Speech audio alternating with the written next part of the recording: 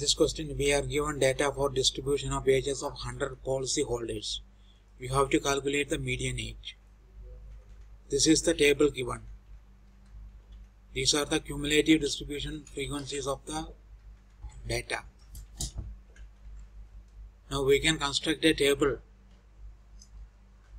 that calculates the individual frequencies as shown. The first and third columns are just replicated from the given table.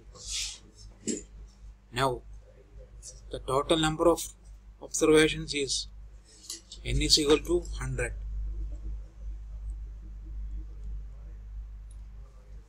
Therefore, the median frequency n by 2 is equal to 50 lies in the class 35 40 that is this class with cumulative frequency 78. The individual frequencies can be calculated by just subtracting the current the previous frequency from the current frequency. That is for cla class 2 the individual frequency can be calculated by just subtracting 2 from 6 that is 4 for the third class the individual frequency can be calculated by subtracting 6 from 24 that is 18 and so on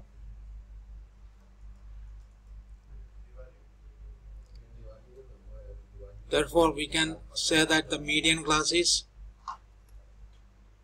median class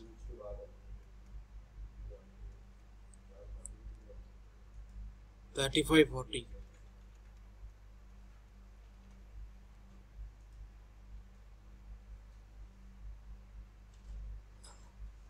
The frequency of the median class is F is equal to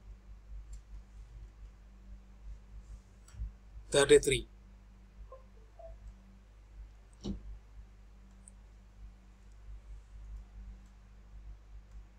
The cumulative frequency of the class preceding median class is 45. So we can write CF is equal to 45. The class size is H is equal to 5 and the lower limit of median class is L is equal to 35.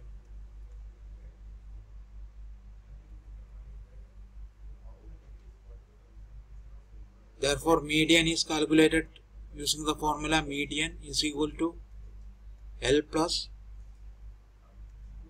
n by 2 minus F divided by F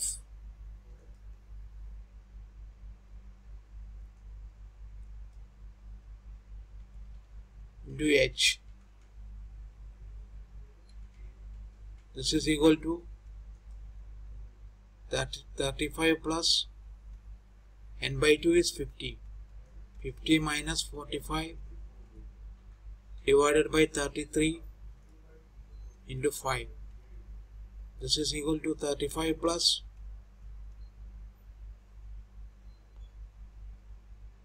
25 by 33 this is equal to 35.76